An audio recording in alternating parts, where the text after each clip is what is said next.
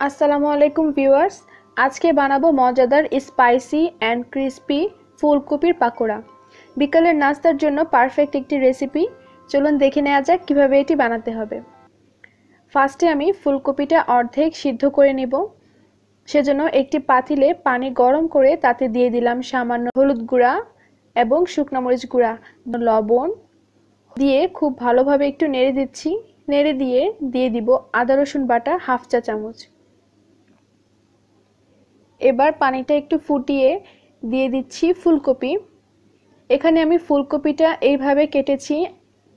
আটিটা একটু লম্বা করে রেখে নিয়েছি, এতে করে ভাজার পরও দেখতে ভালো লাগে। এবার আমি এই ফুলকপিগুলো অর্ধেক সিদ্ধ করে নিচ্ছি।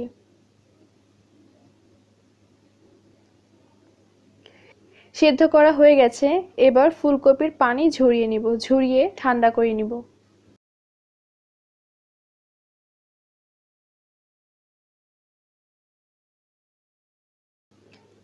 এবার এই পাকোড়াটা ভাজার জন্য বানাবো একটি ব্যাটার। ব্যাটার বানাতে আমি নিয়েছি এখানে এক কাপ বেসন। এই বেসনে দিয়ে দিচ্ছি এক টেবিল চামচ আটা অথবা ময়দা। এই আটা অথবা ময়দাটা দিব ভালোভাবে বাইন্ডিংয়ের জন্য। আর দিয়ে দিচ্ছি দুই টেবিল চামচ চালের গুঁড়া। চালের গুঁড়াটা দিলে পাকোড়াটা খুব ক্রিস্পি হবে। এবার দিয়ে দিচ্ছি স্বাদ মতো লবণ, বেকিং পাউডার হাফ চা চামচ, লাল মরিচ গুঁড়া হাফ চা চামচ, হলুদ গুঁড়া হাফ চা চামচ, ভাজা জিরা গুঁড়া হাফ চা চামচ,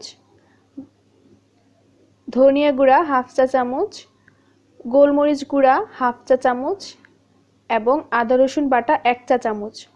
এবার সব কিছু একসাথে পানি দিয়ে একটা ব্যাটার তৈরি করে নিব। ব্যাটারটা বেশি ঘন বা বেশি পাতলা হবে না।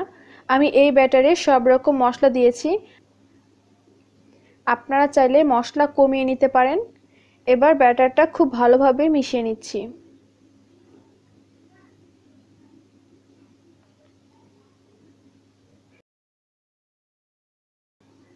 ব্যাটার বানানো হয়ে গেছে।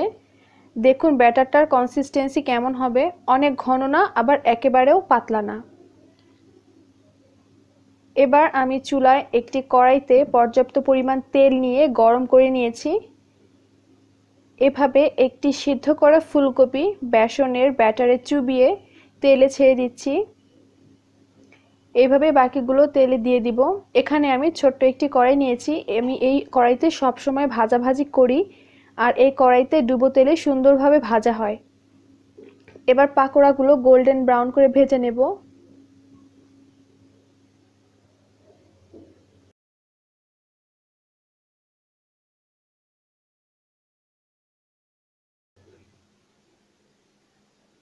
ভাজা হয়ে গেছে, এবার পাকোড়াগুলো কিচেন টাওয়ালের উপর তুলে নিচ্ছি যেন এক্সট্রা তেলগুলো ঝরে যায়। তো ভিউয়ার্স তৈরি হয়ে গেল আমাদের ফুলকপির ক্রিস্পি অ্যান্ড স্পাইসি পাকোড়া। আমার রেসিপি ভালো লাগলে আমার চ্যানেলটি সাবস্ক্রাইব করবেন এবং আপনাদের ফ্রেন্ডস অ্যান্ড ফ্যামিলির সাথে শেয়ার করবেন। আশা করি সবাই অনেক ভালো থাকবেন। আল্লাহ হাফেজ।